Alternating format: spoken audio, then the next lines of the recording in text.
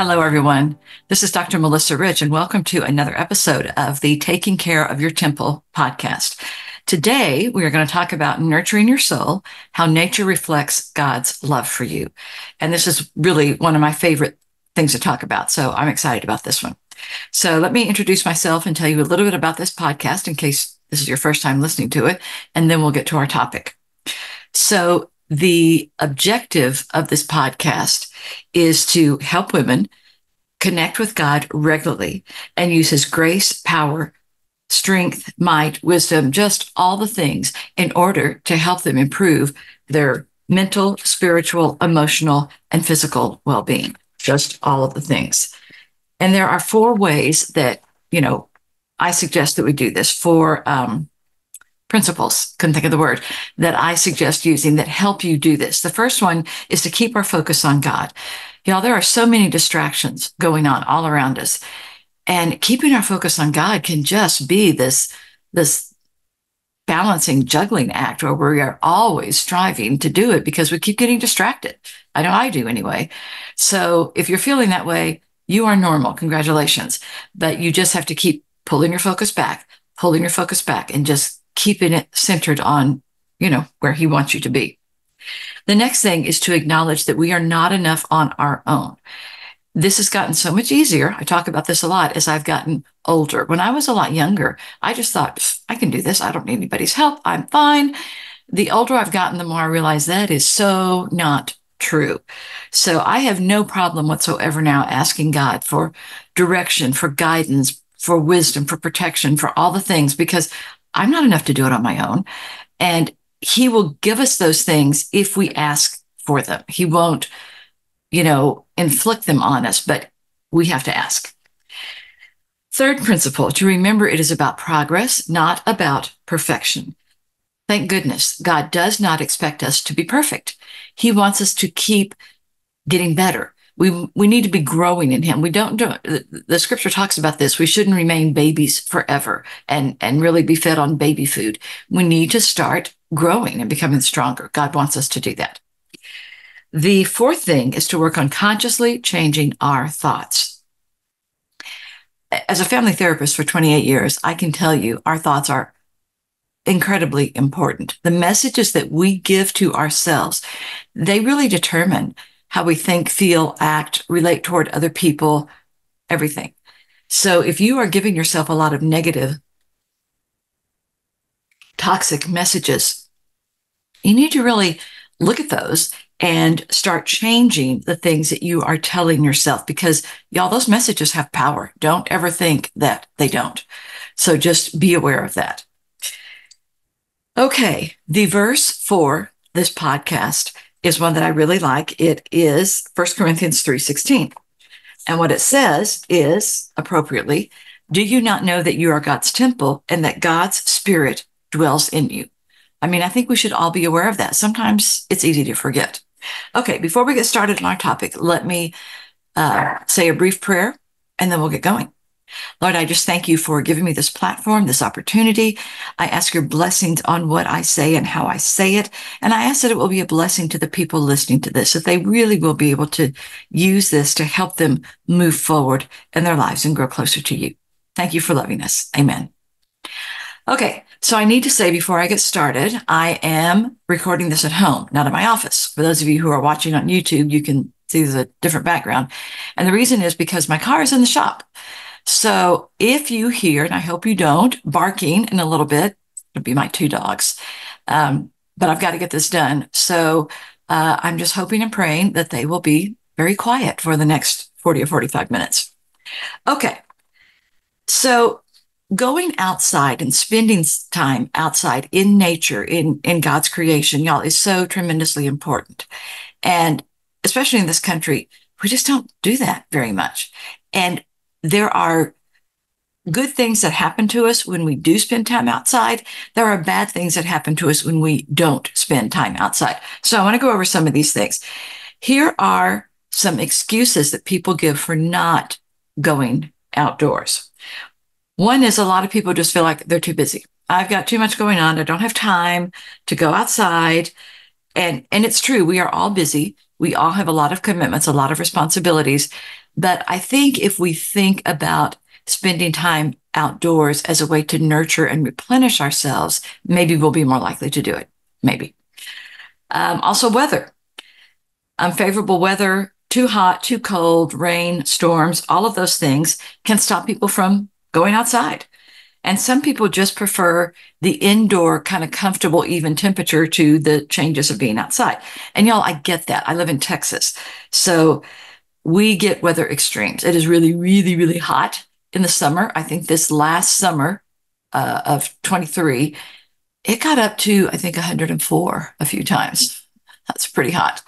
Um, and then the the uh, it can also be very cold in the winter. You wouldn't think that in Texas. And it's not that often, thank you, Lord, but we have our moments, we have our days. And I do not like cold weather. One of the reasons I moved to Texas was because I wanted to be somewhere where it was warm all the time. And it's warmer than some places, but yeah, we still have our moments as well. So I get that. But it is something that you need to work through anyway. And I'll tell you how I do it in a little bit. Then there are technology distractions smartphones, computers, all these devices can keep us indoors because that's usually where we operate those devices. And that can reduce our time spent outside. And I think one of the things that I have seen for that that is helpful is to make that work for you. Listen to a podcast or an audiobook outside. Use a tracker, which I do all the time to track your exercise, or use earpods and talk on your smartphone while you're outside pulling weeds. You know, there are things that, that you can do with the technology if you really want to do that and still be outside. Or you could just unplug and enjoy being outside without people interrupting you or, or having to listen to things. I I find that especially when I run, I don't wear uh, the ear pods or listen to anything because I like the quiet. I love it. It's just nobody's talking to me. I can just run and think my thoughts or zone out. I love that. So that's another alternative. Another reason people say that they don't go outside is because they don't have any really outdoor interest or hobbies. There's nothing they really like to do outside. So why would they go? And I get that. Um, but you know, we, most of us, I think, are interested in our health. We want to feel good. We want to be healthy. And so sometimes in order for that to happen, we have to do things that maybe are not our favorite. We don't really hate them, but it's not like, ooh, I get to go brush my teeth. You know, we do it because we know that we need to, because we don't want to get a lot of cavities or anything. But is it our favorite thing that we get excited about? No, but we know we need to do it. So we do it anyway. So going outside can be that type of thing as well. Something else that can be valid is safety concerns, especially in urban areas. Um, you know, they they may not feel that outdoors is is very safe. And as a single woman, I get that. There are places where I don't go at night uh, or when it's just too dark in the morning. I have a little dog, Chewy. He is a uh, terrier mix. His favorite thing is going on walks. His very in fact, I better not say that too loudly or he'll think that's what we're going to do. Um, but his favorite thing is to go for a W A L K in the morning. And I have to kind of fight him to get him to wait until it's light outside. I want to be able to see what I'm doing. That's safer for me. I don't want to trip and, you know, fall in something. And sometimes there's loose dogs or cars that I don't see till the last minute. I want to be able to see clearly because it's safer. So I totally get that. I tend to wait until it's light and there's people around me. Um, if you, if that is a concern for you, you know, take your cell phone with you.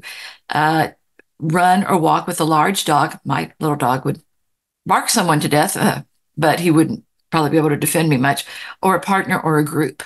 Just take sensible precautions and still go outside. Another reason people give for not going outside is because they have physical health limitations. So if they have, sorry, if they have health limitations or disabilities, it can limit what they can do outside. And I get that. But again, find things that you can do and work within those limits. Y'all, we all have limits on things that we can do. None of us can do everything. We can all do some things better than others, and some things we just don't do well at all. Uh, math and I are on those terms. I do not do math very well, but I still have to do it sometimes. So I do the best I can. So figure out what you can do and work within those parameters. Another one is people say, well, I just don't live near anything. They're not, there's no proximity to anything outside. And that is also a valid one. Um, so one of the things that I try to do is find parks or tree filled neighborhoods that are accessible to you. I'm fortunate enough to live about midway between two parks. They're both about, one is about three or four minutes away in the car. The other's about five or six. So, I mean, really close. And they both have lots of trees and trails. And so that works out well. Um, I love uh, in Waco, we have something called Cameron Park that has a zoo and all these walking trails. And uh, it, it, goes by a river. Uh, the Brazos, is it the Brazos? I think it's the Brazos. Anyway, it's one of the rivers in Waco. I can't think of it right now because I'm talking about it but um, it's it's beautiful. However, it's about 20 minutes away from me. So honestly, I don't go there very often unless I happen to be in that neighborhood anyway, and because that's a 40 minute drive both ways. So I understand that, but find some other things around you. Another reason people don't go outside is because they just like indoor entertainment better. I mean, that's what they're used to. That's kind of what this generation especially has grown up with. I know y'all have heard this said, but you know, when I was growing up, we played outside. We didn't have the the TV and the video games, and we just played outside until our parents would call us in for dinner. I mean, we'd be out there like all day. I mean, come in for lunch, but you know, that's what we would do. And kids nowadays, they just don't do that. It's it's a different world. But we all need to make it a point to go outside periodically because natural light, fresh air, and green plants, y'all, they are good for us. They help us be healthier. They really do. That's not just me saying that, that is research supporting that. Sometimes it's just inertia or habit. People get very accustomed to an indoor sedentary lifestyle and they find it really hard to break those habits. Maybe they don't want to. They're comfortable with that. And I get it. Comfortable is a thing. I understand that. So if that's an issue for you, start small and work your way up into new, healthier habits. Don't start out trying to spend a whole day outside. That's not a good thing. Go out for 20 or 30 minutes. You know, take your dog for a walk. They'll love it probably. Go weeding uh, in your front yard or whatever. Start out small and then you can always add on. Some people have allergies or health concerns, which I totally get. Seasonal allergies can really make it tricky to be outside because you're sneezing your head off. Your eyes are watering. Um, during heavy allergy season, you may need to stay indoors or wear a mask outside. My late husband, Ed, had allergies really badly. And I remember this was way back before COVID during allergy season, if he would mow, he was a dentist and he would bring some of those masks home that, that uh, medical people wear, and he would wear one of those outside so it would kind of filter some of the, the grass and the dust and the pollen out. So, you know, do what you can and check with your doctor to see if maybe you need to go on meds for allergies. Another reason is some people is fear of nature. Some people are really afraid of bugs, snakes, I'm not thrilled with that one myself. Um, just outdoor elements. And so they decide it's just easier and safer to stay indoors. So the answer for that one is, you know, don't go out in the middle of the country. Go to a park, maybe go with some friends, don't go by yourself and start getting nature in small steps. I mean, your backyard, you're probably not going to have too many big bad animals in your backyard. So that should be relatively safe. Or if you don't have a backyard, if you live in an apartment or a condo, go to a park. Those are pretty tame. You're getting trees and uh, sunlight and fresh air, but usually you're not getting too many things that you, you don't want to have exposure to. Then there can be cost concern. Some outdoor activities, hiking, camping, and travel can be expensive. And so I get that. Find some free things around you. Look for bike trails. Uh, try rollerblading, walking, running through neighborhoods or parks all of those things can help you do the outside for with less fear. And then a big one that has been due to COVID is fear. Way too many people became afraid of leaving their homes during COVID. I mean, I saw this over and over. Um, I remember twice during COVID. Once during like, it was about, I don't know, two or three months into it. And then again, almost a year, they did this interview in Waco with these two women who lived together. And they talked about the fact that they were not leaving their home. And they were, they looked like they were in their 50s or 60s. And they had just decided for health, they were not leaving their home. So they did that a couple of months in. I thought, okay. Then again, like eight or 10 months later, they still had not left their home. And I was like, that's ridiculous. And they were saying, well, we don't want to get sick and we don't want to catch anything. And even though, yes, they were giving us all these precautions, they were also saying it is good to get outside, go walk, go do something. And so my son and I would go out and walk our dogs every day. And, you know, we would make sure that we were good 20 or 30 feet away from anybody. If we saw people coming, we'd, you know, move over. So we we kept healthy, but we made sure that we got outside. So just be careful. All right, here are some things. So here are some problems or issues that can happen, bad things from being inside too much. The first thing is you can really develop vitamin D deficiency, and this is lack of exposure to sunlight. You don't want so much sunlight that you develop melanoma or you know you get really really badly sunburned, but you do need some. It's healthy for you. It's crucial in fact for bone health and for immune function, so you need to get some. And one of the best ways to get it is by going outside. Then you get a sedentary lifestyle. And a sedentary lifestyle contributes to things like obesity, cardiovascular problems, muscular weakness. So if this is an issue for you, y'all at least work out inside. I um, have a rebounder. I've talked about this before. It's a little round indoor trampoline, and some of them come with a a bar for balance issues if you need it. But I use mine every day. I walk or run in front of my TV and I have the remote in one hand and I'm doing my arms while I'm running. And so I am getting a lot of exercise. I so far have 9,805 steps for today. And I really haven't done that much. I usually get about 18,000. And a lot of it is inside. Uh, I do go outside, but I also get a lot inside. So at least try to work out some. Um, let's see what else. Mental health issues. We saw a lot of this in COVID because of people staying home and isolating themselves. It uh, too much indoor living has been linked to mental health problems, including increased stress, anxiety, and depression. And as I said, anxiety skyrocketed during COVID, and a lot of it was because people were just staying home and we're having no contact with anybody. We aren't made to be hermits, y'all. It's not healthy. Um, sleep disrupt- disruptions. If you are staying inside and spending too much time in front of your TV or your computer, that light can disrupt your sleep because it's artificial light. So you really do need to go outside. It's helpful and get some natural light. It can help you sleep better and feel better. Same type of thing with too much uh, screen, eye strain, and fatigue. And spending time outside goes a long way towards preventing those. then there's lack of fresh air. I don't care how new your house is, being inside with doors and windows closed, it can it can cause problems because you can get indoor pollutants and it can affect your respiratory health and your overall well-being.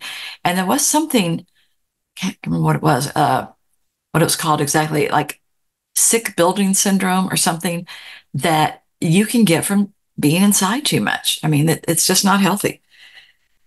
Um, let's see, social isolation.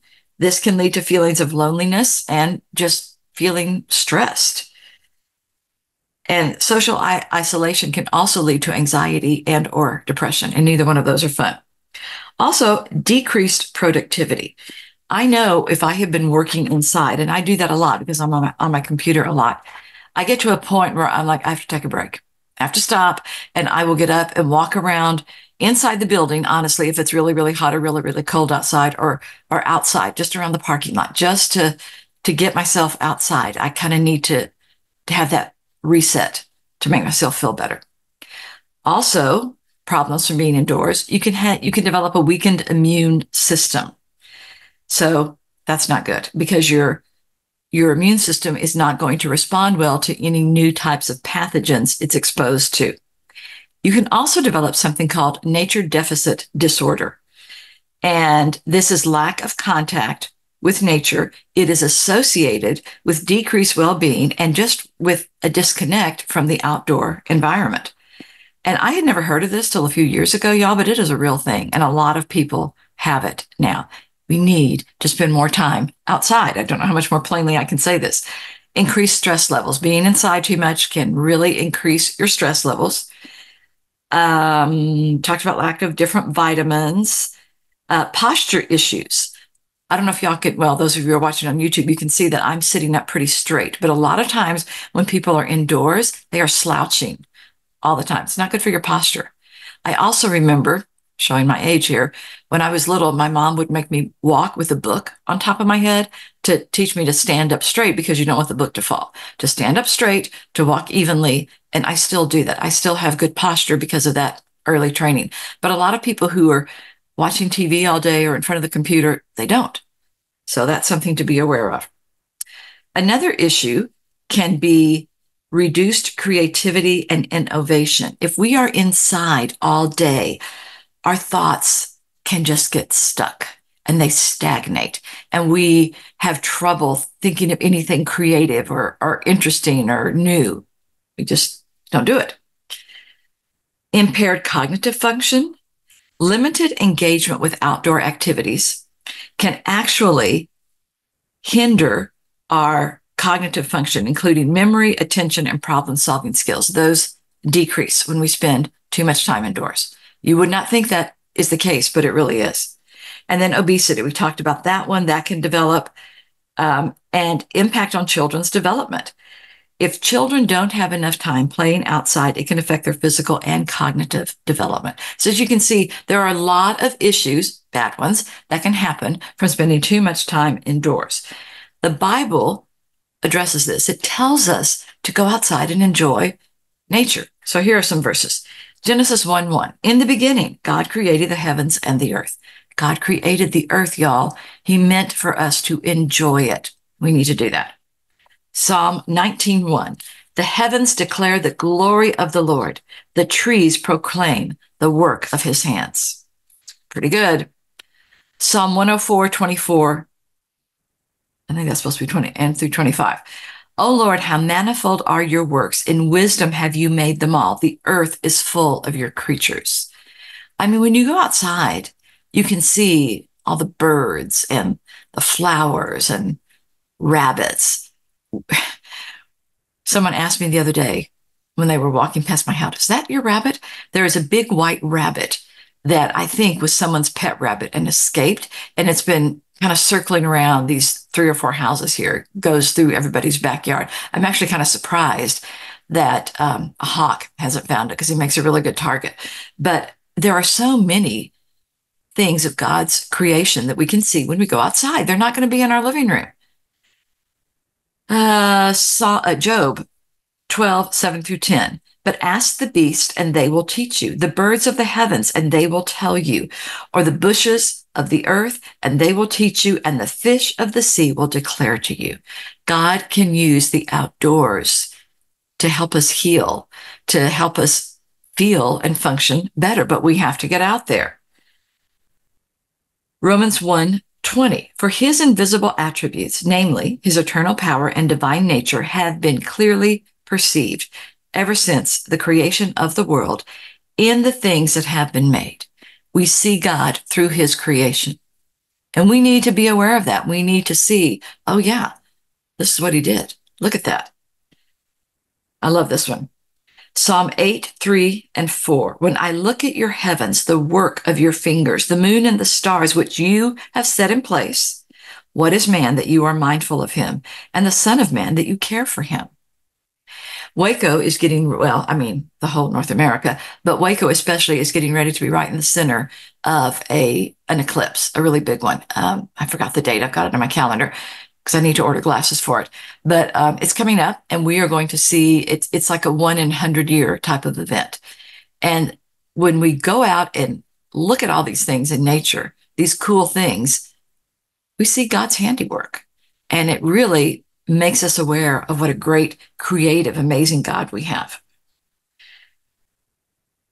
Revelation 4:11, just got a couple more. Worthy are you, our Lord and God, to receive glory and honor and power, for you created all things, and by your will they existed and were created. Again, God made everything, everything that is living. God made. And I love this one. Last one, Isaiah 55, 12. For you shall go out in joy and be led forth in peace. The mountains and the hills before you shall break forth into singing, and all the trees of the field shall clap their hands. Isn't that great? I love that. That was one of my mom's favorite verses. Okay, so let's look at some of the benefits. We've kind of talked about these a little bit, but some of the benefits that going outside can have for us. So, some mental benefits. It's a huge stress reducer. How many of you have no stress? I see no hands going up. Yeah, we all have stress. And going outside is a great way to feel calmer, more relaxed, more comfortable, and at ease. It improves our concentration. When we come back inside, we're able to focus and concentrate more. It enhances our creativity. We are able to come up with better ideas because we get stale just sitting around inside. It also, going outside is a mood elevator. Sunlight and fresh air trigger the release of serotonin, which helps us feel happier. It's a natural mood enhancer. We feel happier and more relaxed when we spend time in nature versus staying inside all the time. Cognitive restoration. Nature provides a break from mental fatigue. Have y'all ever done that? You are working so much and you've done it for so long that your brain is just fuzzy. You you can't literally think straight. I, I get that way. I've been there before. And again, if if I spend too much time indoors with technology, I really can't think straight. And I certainly don't think very productively. Going outside, it's like a, a reset for my brain. It really is. And I feel better. Uh, it improves memory. It helps you with resilience so that you are more adaptable. You can deal with stressors better. It reduces mental fatigue. Again, it kind of has, kind of has a restorative effect. And it also helps with attention and mental focus. You can kind of improve those after you go spend some time outside. Some physical benefits. Okay, we talked about vitamin D synthesis. Sunlight is a natural source of vitamin D, which is essential for bone health and for immune system function. Also, increased physical activity. Most of us don't go outside and just sit down, although you could, you would still get some benefits from it. But most of us go outside and walk or do something, and that's good for our cardiovascular health and for fitness going outside, spending time outside helps us sleep better in the evening because that natural light that we're exposed to, it helps regulate our circadian rhythms.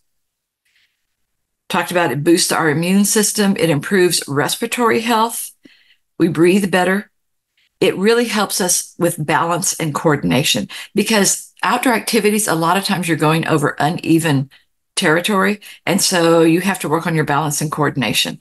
And y'all, our muscles were made to be used, not just to sit on a couch. That's not what God intended. He told me. You can trust me. Uh, joint health. Uh, when we're walking or hiking or moving around, it improves joint flexibility and overall joint health. With weight management, obviously, because we're outside and we're burning calories. Better posture. It also enhances our cardiovascular endurance. God designed us to move and we function better when we are outside moving. So some emotional benefits, increased happiness. Nature experiences are linked to higher levels of overall life satisfaction. Y'all, I always feel better when I spend time outside, whether I'm walking my dog, running, walking myself, or if I'm just out in my backyard. Even you dog lovers will relate to this. If I am just outside doing my periodic poop pickup. I just have a little poop bag. I have a pair of disposable gloves on and I'm picking up poop and bagging it. But I'm walking all over the backyard because, you know, they go everywhere. And even just doing that for 15 or 20 minutes, what my yard looks better. and there's less hazards in my grass. And two, I'm outside. And so I just feel better. My dogs love it. They're running around, seeing what I'm doing. So it's good. Uh, stress relief, social connections, especially if you are doing uh, outdoor activities with other people, then you really do feel connected with them and it's just more enjoyable. Have you ever seen kids just running around outside? I mean, my dogs do this too, just running around like crazy. And you're like, what is your deal? They're just happy to be outside and to be moving. They love that. Um, it also can help with, I don't know if any of y'all are familiar with this, seasonal affective disorder, SAD. This is uh, people who become especially during winter when when there's less sunlight, the days are shorter, they uh, get depressed. And they may not do it the rest of the year, but during the winter, when the when the, there's not that much sunlight out, they really do become depressed. I've always believed that I have a bit of this, and because if I have two or three really gray, overcast days in a row, I'm not very happy. And I've always thought I could never go to Alaska to live. I mean, I, I wouldn't mind visiting. It looks great. But those six months of winter, y'all, I, I would have the screaming meanies. I just can't do it. And it's interesting. One of the ways that they treat uh, SAD is to ex- get have people get a, a lamp that like reproduces outside light. Not as good, but it's better. And just getting that light in on you helps people feel better. So you could just go outside and do it. You don't have to buy a lamp. Just a thought. Some spiritual benefits of going outside. One is it gives us a sense of purpose. We feel like we are connected to God's creation and we're kind of plugging in to something bigger than ourselves. And we all need that. There is mindfulness and presence. When we are outside doing outdoor activities, we're, we're usually pretty present focused. We're thinking about what we're doing. We're enjoying the moment more. And yeah, and it shows, and we feel better. Being outside can promote reflection and contemplation. And we do not do this enough. Let me just tell you. I know I certainly don't.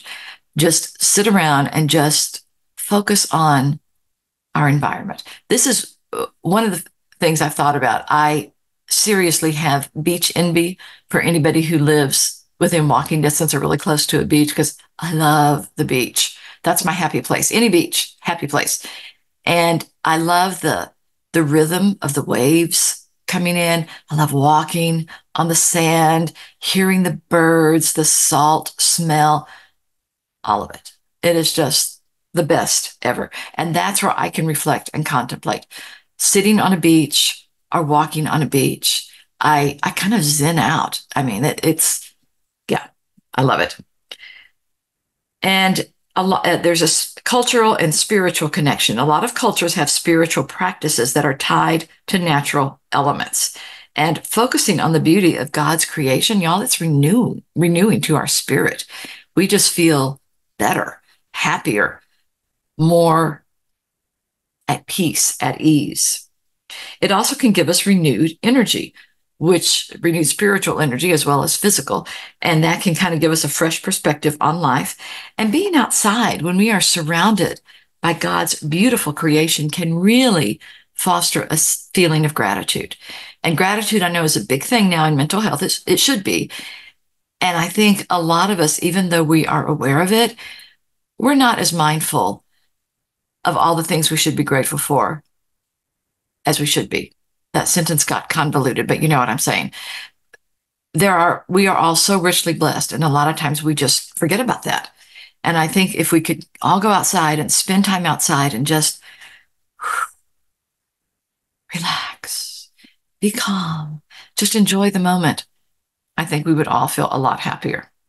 And we also can feel really connected to the universe. If you've ever gone outside uh, if you live in out, out in the country that you can do this. If you go outside at night and you see all the stars, and if you live in the city, you you're not going to be able to see them because the lights of the city kind of block them out.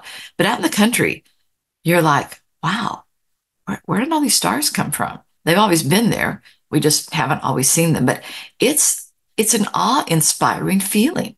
You kind of feel diminished and you realize how big God's creation is and how mighty God is by just looking up at all the things that he created. And again, we don't do that that often. Also, I love this one. Being outside can promote this feeling of an appreciation for the environment and a sense of responsibility. We need to take better care, I believe, of our planet. We're just not doing that great of a job. There are people in some places who are making an effort, and that's great. More of us need to do that.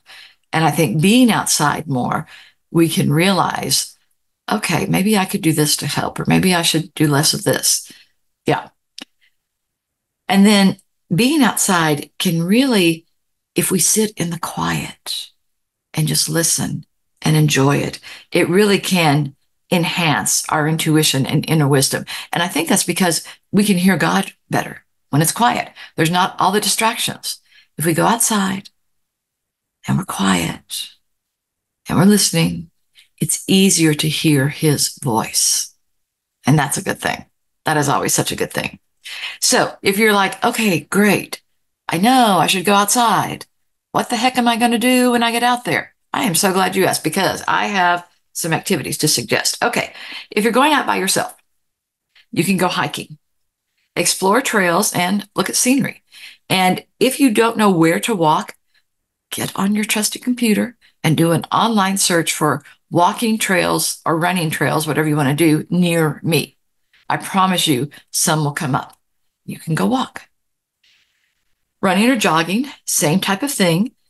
You can go out and enjoy the beauty of creation and work on getting in shape.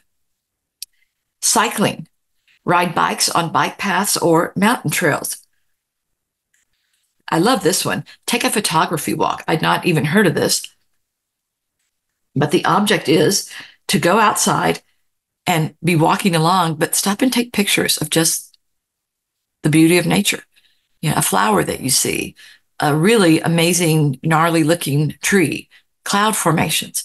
I have caught some really good uh, pictures of clouds where I'm sure you've seen it. It's like there's a window in heaven and all this sunlight is just pouring down. It looks like God is reaching down through the clouds. I love that. Um, bird watching observe and identify different bird species. I was I was walking Chewy just this morning. We were coming home, and I kept hearing this really loud bird chirping or singing or whatever it was. And I'm looking around because you know it's it's February here in Texas, and a lot of the trees are pretty bare. And I finally saw it. I thought it was this whole flock. This is one little bird right up on the top of the tree, and he was singing his heart out. I was like, man, you're a whole choir, just one little bird. Uh, reading outside. Enjoy a good book surrounded by nature. You know, take a water bottle, take a comfortable chair, go to a park, sit under a tree, or if you don't want to get bird poop on, sit in a pavilion. Just go somewhere and be outside. Um, solo camping. If you're brave and adventurous, go on a camping trip and go. That, that's, I have to say, that's kind of not my thing, but for some people it is. Okay, for couples, take a picnic. How cool is that? Share a meal together in a scenic outdoor location. Spread a blanket, take some pillows, take some food, and, you know, just go out and enjoy. And I think as a couple, especially if you do that type of thing, the focus is on each other. And you might even, I know this is really radical, y'all. So, you know, think about it, but you might even agree to turn your phones off when you do that. I know it's out there. I get it but I think it could be helpful. Um, stargazing. I talked about that. Go outside and and try. I, I never can identify any of the constellations. People will say, "Oh, that's the Big Dipper," and I'm like, "Okay, uh, if you say so." But again, I've never really lived somewhere where you can see the stars that clearly, so that's probably why. Canoeing or kayaking. Paddle together on a river or a lake. I have to say, just bring something up. If y'all have not seen the movie The Boys in the Boat, so good. That was an excellent, excellent movie. Um, that kind of reminded me of it. But that's a good way as a couple to, you know, get out in nature. And sometimes you really do get out in nature because I've seen couples who are not rowing well together and they end up in the water instead of in the boat. But, you know, it's a it's a shared experience. Couples yoga. Practice yoga in a peaceful outdoor setting. I've seen yoga classes given on the beach. How cool is that? I do not do yoga because I am the most unflexible person in the world. I've never been able to touch my toes. I, I just can't do it. It looks great. It's just not my thing. Um, beach day. Okay, this is my thing. Relax by the beach, swim, or just take a romantic walk on the beach. Outdoor movie night. Set up a movie screening outside. It can be in your backyard. They have a lot of those outdoor movie, what do you call them, screens and projectors and all that that you can do in your backyard. And you can just set it up and invite family and friends over and go to town. Go watch it. Uh, Hot air balloon ride. This sounds really cool. This is on my bucket list to take a hot air balloon ride. I think it sounds like so much fun, but I think that would be a fun couples activity. Very romantic and memorable. It's not something that you would do every day. This would be great for an anniversary or maybe a birthday gift to someone. I think I've told you all this. When one of my brothers, Chris, turned, I think it was 50, one of his daughters gave him a uh, skydiving package. She went with him. And I asked him late, and, and, they did the thing where there was someone with him and they took pictures and filmed it and all that. And so he did it. And I said later, How was it? And he goes, It was great. I'm so glad I did it. I will never do it again. it's like, yeah, I, I get that. But it's an experience. It's something that, you know, you may never do again. So family activities like mom, dad, kids, everybody a nature scavenger hunt. Just create a list of items for the family to look for outside in your neighborhood or go to a park. Also, geocaching. That's really popular nowadays. And it's basically treasure hunting using GPS. And they have these little, uh, what do they call them? They're little containers. And those are the caches. And they put them in different places and they give you clues and you look for them. And then if you find them, some of them you can leave a note inside saying, you know, who you were and that you found it, leave a note for the next person. But it's a very cool, fun outdoor activity for the whole family because you're walking and you're outside and, you know, it's just a fun thing. Another one is taking a fishing trip. I have to say, honestly, y'all, so not my thing. Uh, I think fishing and golf kind of rank right up there with their outside, and that's great. For me, it's very high on the boring scale, but there are people who really love it. Great, go for it. Camping, set up a family campsite and enjoy the great outdoors. When I was in high school, my dad was pastoring a church in Oklahoma, and my mom's family was in California. So several times in the summer, we would drive from Oklahoma to California, all the way across country. And back then, I had a big station wagon. I mean, that's what people did. And my dad, because he had five kids. He put a, uh, a layer of had cut a layer of foam on the back part, and we put the the middle seat down. So we had this big area in the back. I, no one was wearing seat belts. I mean, we didn't back then. And we would play cards or, you know, do whatever and just lounge around in the back. We had so much fun. So much fun. Um, and then we also at times when we stopped this is what i was headed for we had this pop-up camper that we were pulling. So we'd have to put the pop-up camper up. And i tell y'all my dad was a pastor. He they my parents had both been missionaries. The first few nights that we did it i thought my dad was going to lose his religion because it is not that easy. And we kept trying to you know put pole a into slot b and you know do the stuff and we could not get it. Well after after like the second or third night, we got it and we could get that thing up in like five minutes. Um, but it, it was just fun. And then we talk around the campfire. Take a bike ride, explore bike t- trails together as a family. Now, obviously, you need to wait until your kids are old enough to ride to do this, or you can have them ride behind you. Outdoor sports, soccer, frisbee, other sports that you can play in the park. Nature crafts. I love this one because I'm a big crafter person. Create art using natural materials found outside, like leaves and pine cones and flowers. You can press flowers. Do some of that. And it, it, again, it, it really connects you and your kids to outdoors. Have a group hike, hike, sorry. Organize a hiking trip with friends and family. So you can get two or three families all going together and the kids can be running back and forth like crazy people. adults can be walking and talking at a reasonable pace and it's just it's fun it's good for everybody i think more people don't do this though because Someone needs to organize it. Y'all, I am the world's best organizer. I will take charge. I will get things going, but there needs to be somebody to do that. So if you have that gift, do it because a lot of times people will participate in activities if someone else gets them going. And if you're natural at that, do it. That's a gift that God gave you. Use it. Uh, what else? Team building games like, I don't even know, uh, tug of war. Uh, there's a lot of team building trust activities like with ropes courses and things that you can do. Those are all fun. A community cleanup. If you live in a community, maybe get your kids out there and you guys all go volunteer to clean up a park. That's a good thing. It's kind of a way of giving back. Um, I mentioned outdoor yoga class. A big thing nowadays is goat yoga. Not that fond of goats, not that fond of yoga. So honestly, not my thing, but I have to say it does look fun. I've watched people do it and I'm like, yeah, that's pretty fun, but I don't want the goat chewing my hair. But it would be a fun thing, especially kids tend to like it. Some type of a group cycling tour. Organize a route where you're going to go, take water bottles, take some food, and go out. Um, oh, and apps. I think the best one that I've seen is Pokemon Go. I don't know that much about it, but it's one that it, this was especially popular during COVID. I would see people in the parks because it would take you, you have to go here and then you have to go over here. So you're getting outside and doing things. It was fun. Also, just some other things that you can do. Have a bonfire and cook out and tell stories, especially ghost stories. Always fun. Frisbee golf. Um, there's a lot of those frisbee golf courses in Waco. People love it. Rock climbing. Be sure you have the right equipment for this and have someone there who knows what they're doing. Don't just, I don't recommend just trying this if you've never done it before on your own.